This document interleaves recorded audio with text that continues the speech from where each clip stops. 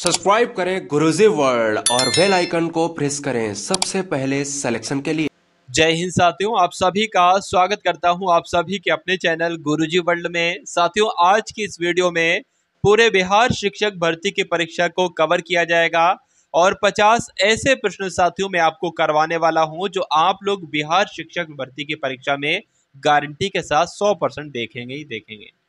तो क्लास आपके यहाँ पर साथियों शुरू हो चुकी है। पहला प्रश्न आपकी स्क्रीन पर आ चुका है। आपसे पूछा जा रहा है कि भारतीय राष्ट्रीय कांग्रेस के पहले अधिवेशन की अध्यक्षता किसने की थी? तो पहले अधिवेशन की अध्यक्षता साथियों किसने की थी? तो डब्ल्यू सी बनर्जी ने की थी, आपको ध्यान रखना है। और भारतीय राष्ट्रीय कांग्रेस की स्थापना कब की गई? तो 28 दिसंबर अठारह को। उसके बाद देखिए नेक्स्ट नंबर का क्वेश्चन आपकी स्क्रीन पर है कि लाहौर कांग्रेस क्या पूछा जा रहा है साथियों? लाहौर कांग्रेस अधिवेशन के अध्यक्ष कौन थे? यानी जो लाहौर में कांग्रेस का अधिवेशन हुआ था, यहाँ पर इसकी अध्यक्षता साथियों किसके द्वारा की गई थी? तो पंडित जवाहरलाल नेहरू के द्वारा की गई थी। ये आपको ध्यान रखना है, आंसर आपका जाएगा ऑप्शन नंबर ए के साथ। उसके बाद देखिए नेक्स्ट नंबर का क्वेश्चन आपकी स्क्रीन पर है कि भारतीय राष्ट्रीय कांग्रेस के इनमें से किस अधिवेशन में पहली बार राष्ट्रीय गान गाया गया? बताइए भाई, राष्ट्रीय गान जो गाया गया ना, वो पहली बार साथियों कब गाया गया, कौन से अधिवेशन में गाया गया तो आपको ध्यान रखना है कि कलकत्ता अधिवेशन की बात करें तो 1911 में जो कोलकाता अधिवेशन हुआ था, इसमें पहली बार राष्ट्रगान गाया गया, जिनका आंसर यहाँ पर है, ऑप्शन नंबर ए के साथ तो बिल्कुल करेक्ट है। उसके बाद देखिए साथियों कि भारत के राजनीतिक प्रयासों का लक्ष्य स्वराज था। दादा भाई नौरोजी ने इस लक्ष्य की घोषणा कब की थी बताए भाई। तो इस लक्ष्य की घोषणा साथियों कब की थी, आपसे पूछा जा रहा है 1906 के कलकत्ता अधिवेशन में इसकी घोषणा की थी तो जिनका आंसर यहाँ पर सी है तो बिल्कुल करेक्ट है। उसके बाद देखिए, निम्नलिखित में से किसका पहले भारतीय आज़ादी के युद्ध के रूप में वर्ण किया गया है? तो साथियों, किसका किया गया है? भारत के पहले भारतीय आज़ादी के युद्ध के रूप में तो अठारह के विद्रोह का किया गया है।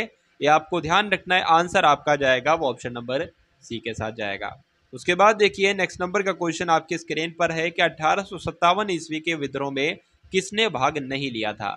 तो साथियों, किसने भाग नहीं लिया था? इतना तो मालूम होना चाहिए कि रानी लक्ष्मीबाई ने लिया था, नाना साहेब ने लिया था, तात्या टोपे ने लिया था, लेकिन भगत सिंह ने नहीं लिया था। नहीं लिया था तो यही इस क्वेश्चन का बिल्कुल करेक्ट आंसर है। चलिए। अंग्रेज़ों से लड़ते हुए रानी लक्ष्मीबाई साथियों, कब शहीद हुई थी? आपसे पूछा जा रहा है। तो कब शहीद हुई थी? बताने की कोशिश कीजिए, आपको ध्यान रखना है, अठारह में ये शहीद हुई थी, इसलिए आंसर आपका जाएगा ऑप्शन नंबर बी के साथ। नेक्स्ट नंबर का प्रश्न आपकी स्क्रीन पर बताइए। क्या पूछा जा रहा है साथियों आपसे कि मोपला विद्रोह किन वर्षों के बीच हुआ था? बताए भाई। मोपला विद्रोह की अगर बात करते ना साथियों तो ये जो हुआ था, ये 1921-1922 के बीच हुआ था, ये आप लोग ध्यान रखेंगे। 1928 में बारदोली सत्याग्रह किसके नेतृत्व में किया गया था? तो आपको मालूम होना चाहिए साथियों कि 1928 में जो बारदोली सत्याग्रह किया गया था, वो सरदार वल्लभ भाई पटेल के नेतृत्व में किया गया था। तो जिनका भी आंसर यहाँ पर है ऑप्शन नंबर बी के साथ तो बिल्कुल करेक्ट है। चलिए।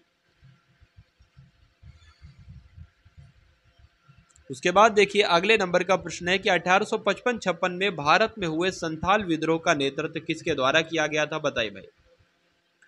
तो यहाँ पर आप लोग ध्यान रखेंगे साथियों, सिद्धू और कान्हू। सिद्धू और कान्हू, इन दोनों के नाम आपको ध्यान रखना है साथियों। ठीक ये दो आदिवासी लोग थे तो इन दो आदिवासियों के नेतृत्व में 1855 में साथियों, आपको ध्यान रखना है, संताल विद्रोह का नेतृत्व किया गया था। इसलिए आंसर अगर आपका है, ऑप्शन नंबर ए के साथ तो बिल्कुल करेक्ट है। चलिए। इस क्वेश्चन का साथियों, राइट आंसर होगा, भारत में स्वदेशी आंदोलन की शुरुआत किस दौरान हुई थी? आपसे पूछा जा रहा है तो बंगाल भंग, यानी कि बंग भंग विरोधी आंदोलन के दौरान हुई थी आपको ध्यान रखना है। इसलिए आंसर आपका किस ऑप्शन के साथ जाएगा तो ऑप्शन नंबर बी के साथ जाएगा। अगर आपसे पूछा जाए कि स्वदेशी आंदोलन साथियों, कब शुरू किया गया? तो 1905 में शुरू किया गया। उसके बाद देखिए साथियों, वही क्वेश्चन आ गया कि स्वदेशी आंदोलन साथियों, कब शुरू किया गया? तो अभी मैंने आपको बताया कि स्वदेशी आंदोलन साथियों 1905 में शुरू किया गया। उसके बाद देखिए नेक्स्ट नंबर का क्वेश्चन आपकी स्क्रीन पर है। आपसे पूछा जा रहा है साथियों कि लॉर्ड कर्जन द्वारा बंगाल विभाजन के निर्माण का, निर्णय का, बंगाल का लॉर्ड कर्जन द्वारा बंगाल विभाजन के निर्णय का वास्तविक कारण किसे माना जाता है? तो साथियों, किसे माना जाता है बंगाली लोग अंग्रेज़ी पोशाक और भोजन का विरोध कर रहे थे तो नहीं। सभी स्वतंत्रता सेनानी बंगाल से थे तो नहीं। अंग्रेज़ों की फूट डालो और राज करो नीति ये, या बंगाल एक शिक्षा केंद्र के रूप में उभरा था। तो आंसर की अगर बात करते हैं तो आंसर आपका जाएगा ऑप्शन नंबर सी के साथ, यानी कि लॉर्ड कर्जन के द्वारा बंगाल विभाजन के निर्णय का जो वजह थी, जो कारण था, वो अंग्रेज़ों की फूट डालो और राज करो की नीति थी। उसके बाद देखिए कि स्थान को nursery of the Bengal army कहा जाता है। बताई भाई, क्या होगा साथियों, इस क्वेश्चन का राइट आंसर तो आपको ध्यान रखना है अवध को। क्या किस संस्था स्थान को साथियों तो नर्सरी ऑफ़ बंगाल आर्मी किसे कहा जाता है? अवध को कहा जाता है। उसके बाद देखिए, इनमें से कौन सा आंदोलन लाल बाल पाल द्वारा शुरू किया गया था? तो कौन सा साथियों आंदोलन लाल बाल बाल पाल के द्वारा शुरू किया गया था? तो स्वदेशी आंदोलन आप लोग ध्यान रखेंगे। इसको साथियों लाल बाल पाल के द्वारा शुरू किया गया था। जिनका आंसर यहाँ पर डी है तो बिल्कुल करेक्ट है। चलिए। उसके बाद देखिए साथियों कि बंगाल का पहला विभाजन जो था, वो किस वर्ष हुआ था बताइए भाई? बंगाल का पहला विभाजन जो हुआ था, वो 1905 ईस्वी में हुआ था। ये आपको ध्यान रखना है, इसलिए आंसर आपका जाएगा ऑप्शन नंबर डी के साथ। महात्मा गांधी जी के द्वारा नमक सत्याग्रह कब शुरू किया गया था? तो महात्मा गांधी जी के द्वारा नमक सत्याग्रह साथियों, कब शुरू किया गया था? तो 1930 में शुरू किया गया था, ये आप लोग ध्यान रखेंगे। उसके बाद देखिए साथियों, बिहार का राज्य फूल क्या है, आपसे पूछा जा रहा है। तो बिहार का साथियों, राज्य फूल कौन सा है? तो गेंदा है। आंसर आपका जाएगा ऑप्शन नंबर ए के साथ। निम्नलिखित में से कौन बिहार का राज्य पक्षी है, बताइए भाई। देखिए बिहार का राज्य पक्षी आपके बारे में साथियों, यहाँ पर पूछा जा रहा है। तो अगर बात करें कौन सा है तो गौरैया है, ये आप लोग ध्यान रखेंगे। इसलिए आंसर यहाँ पर जिनका भी है ऑप्शन नंबर सी के साथ तो बिल्कुल करेक्ट है। बिहार की निम्नलिखित में से कौन सी भाषा तिरहुत लिपि का प्रयोग करती है? तो कौन सी भाषा साथियों तिरहुत लिपि का प्रयोग करती है? मैथिली भाषा तिरहुत लिपि का प्रयोग करती है। उसके बाद देखिए कि नाट्य शास्त्र पुस्तक के शास्त्रीय नृत्य पर किसके द्वारा लिखी गई थी? क्या पूछा जा रहा है? नाट्य शास्त्र पुस्तक भारत के शास्त्रीय नृत्य पर किसके द्वारा लिखी गई थी? तो भरत मुनि के द्वारा लिखी गई थी। ये आपको ध्यान रखना है, इसलिए आंसर आपका ऑप्शन नंबर सी के साथ जाएगा। उसके बाद देखिए, पाल राजवंश का पहला राजा कौन था? ये आपसे पूछा जा रहा है। तो पाल राजवंश का साथियों, पहला राजा कौन था? इसका नाम क्या था? गोपाल इसका नाम था। इसलिए जिनका भी आंसर यहाँ पर है, ऑप्शन नंबर ए के साथ तो बिल्कुल करेक्ट है।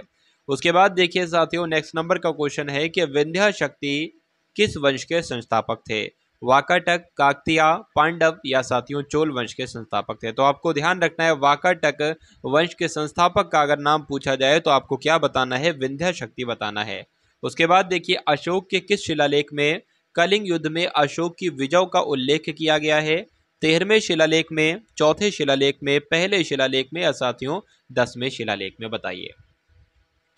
तो यहाँ पर साथियों, आंसर की अगर बात करते हैं तो आपको ध्यान रखना है, तेरहवें शिलालेख इस प्रश्न का बिल्कुल सही उत्तर हो जाता है।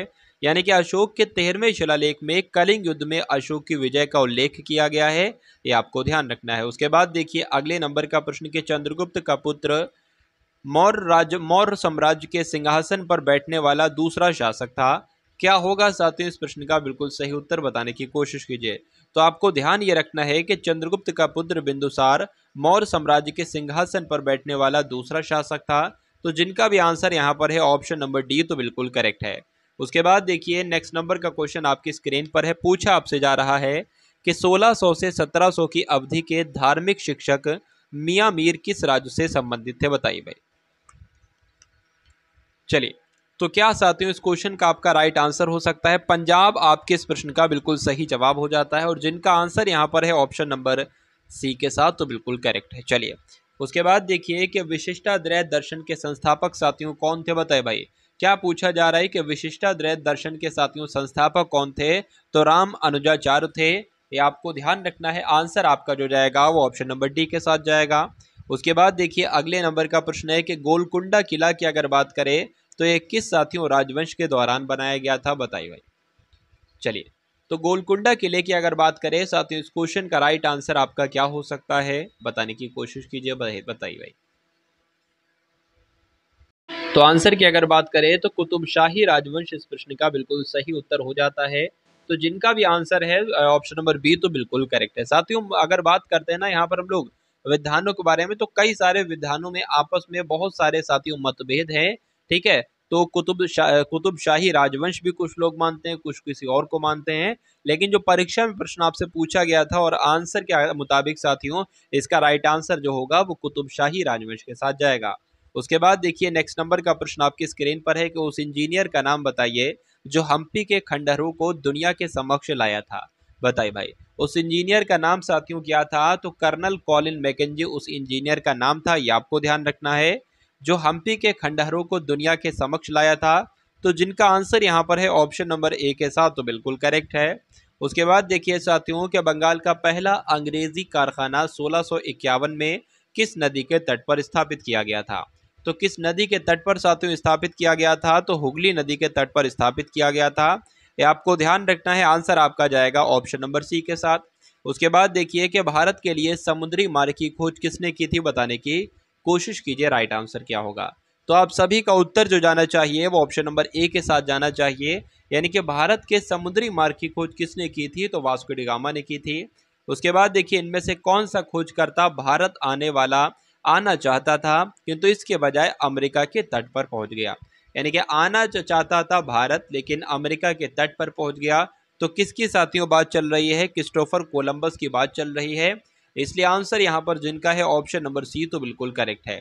उसके बाद देखिए, ईस्ट इंडिया कंपनी ने भारत के किस शहर में अपना पहला व्यापारिक केंद्र स्थापित किया था, बताइए भाई। चलिए तो इस क्वेश्चन का साथियों राइट आंसर आपका जो होगा, वो सूरत के साथ जाएगा और जिनका आंसर यहाँ पर ऑप्शन नंबर डी है तो बिल्कुल करेक्ट है।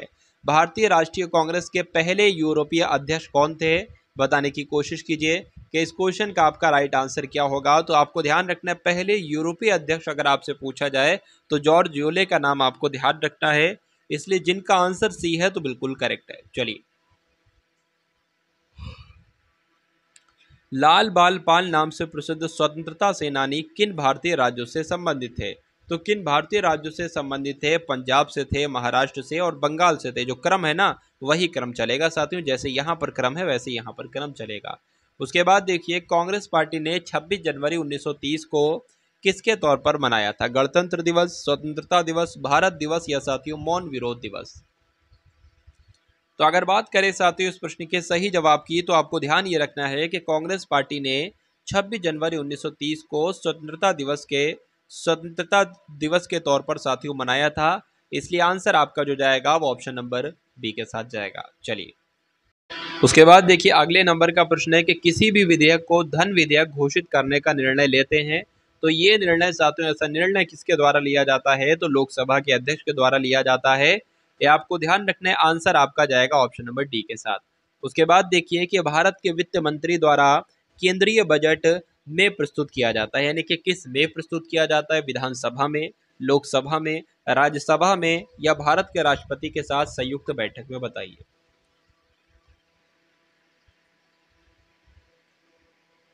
चलिए। तो अगर बात करें साथियों के भारत के वित्त मंत्री के द्वारा केंद्रीय बजट साथियों कहाँ पर प्रस्तुत किया जाता है तो लोकसभा में प्रस्तुत किया जाता है। जिनका भी आंसर यहाँ पर है ऑप्शन नंबर बी के साथ तो बिल्कुल करेक्ट है। उसके बाद देखिए साथियों के अखिल भारतीय सेवाओं के निर्माण के लिए कौन उत्तरदायी होता है, बताइए भाई। अखिल भारतीय सेवाओं के निर्माण के लिए कौन उत्तरदायी होता है तो राज्यसभा उत्तरदायी होती है। ये आप लोग ध्यान रखेंगे, आंसर आपका जो जाएगा वो ऑप्शन नंबर ए के साथ जाएगा और जिनका आंसर यहाँ पर ए है तो बिल्कुल करेक्ट है। अब उसके बाद देखिए कि हिंदी को भारत की राजभाषा घोषित कराने के लिए किस स्वतंत्रता सेनानी को याद किया जाता है? तो किसको याद किया जाता है साथियों? पुरुषोत्तम दास टंडन को याद किया जाता है। ये आपको ध्यान रखना है, आंसर आपका किस ऑप्शन के साथ? ऑप्शन नंबर ए के साथ, चलिए। उसके बाद देखिए सौर मंडल का हेलियोसेंट्रिक मॉडल सबसे पहले किसके द्वारा प्रस्तुत किया गया था? तो किसके द्वारा साथियों प्रस्तुत किया गया था? तो निकोलस कॉपर निकस के द्वारा प्रस्तुत किया गया था। ये आपको ध्यान रखना है, आंसर आपका जाएगा तो ऑप्शन नंबर डी के साथ जाएगा। उसके बाद देखिए, हमारा सौरमंडल किस गैलेक्सी का एक हिस्सा है, बताइए भाई। जो सौर मंडल है ना साथियों, ये किस गैलेक्सी का एक हिस्सा है? तो आकाश गंगा का हिस्सा है, ये आपको ध्यान रखना है। और जिनका आंसर यहाँ पर ऑप्शन नंबर सी है तो बिल्कुल करेक्ट है। एंड्रोमेडा साथियों, क्या है? आपसे पूछा जा रहा है। तो एंड्रोमेडा साथियों, ये क्या है? ये मिल्की वे की पड़ोसी आकाशगंगा है। क्या है? मिल्की वे की साथियों, पड़ोसी आकाशगंगा है। ये आपको ध्यान रखना है, आंसर आपका जाएगा ऑप्शन नंबर ए के साथ। चलिए भाई। अब उसके बाद देखिए, निम्नलिखित में से कौन सी आकाशगंगा मिल्की वे के सबसे करीब है? तो कौन सी आकाशगंगा मिल्की वे के सबसे करीब है? तो एंड्रोमेडा गैलेक्सी है, ये आप लोग ध्यान रखेंगे। इसलिए आंसर आपका जिस ऑप्शन के साथ जाएगा तो ऑप्शन नंबर सी के साथ जाएगा। भारत की सबसे पुरानी तेल रिफाइनरी डिगबोई, ये कहाँ पर स्थित है? मथुरा में, असम में, कलोल में या साथियों मेघालय में? बताइए। तो कहाँ पर स्थित है? आपको ध्यान रखना है, ये असम में स्थित है। इसलिए जिनका भी आंसर यहाँ पर है, ऑप्शन नंबर बी के साथ तो बिल्कुल करेक्ट है। ऑपरेशन थर्स किसके द्वारा शुरू किया गया था? बताए भाई। ऑपरेशन थर्स किसके द्वारा शुरू किया गया था? तो आपको ध्यान रखना है, रेलवे सुरक्षा बल के द्वारा ये शुरू किया गया था। यहाँ पर जिनका भी आंसर है, ऑप्शन नंबर बी के साथ तो बिल्कुल करेक्ट है। Indira Gandhi, a life in nature पुस्तक के लेखक कौन है? ये आपसे पूछा जा रहा है। तो Indira Gandhi, a life in nature पुस्तक के लेखक जयराम रमेश हैं। क्या आपका राइट आंसर होगा? सही जवाब आपका जो होगा, वो ऑप्शन नंबर सी के साथ जाएगा। कविता संग्रह, गीतांजलि के लेखक साथियों कौन है?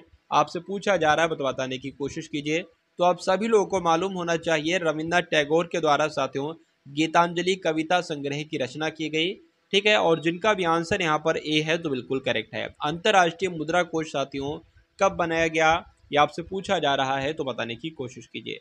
तो 1945 में साथियों, ये बनाया गया, इसलिए आंसर आपका ऑप्शन नंबर ए हो जाता है। अब उसके बाद देखिए, अंतिम प्रश्न आपकी स्क्रीन पर है, बताइए भाई। ओ का मुख्यालय कहाँ पर स्थित है? सबसे पहले अगर फुल फॉर्म की बात करें तो organisation for economic cooperation and development ये इसकी फुल फॉर्म हो जाएगी। हिंदी में कहेंगे आर्थिक सहयोग और विकास संगठन, ये इसको हिंदी में कहेंगे। इसके मुख्यालय की बात करें तो फ्रांस की राजधानी पेरिस में इसका मुख्यालय स्थित है।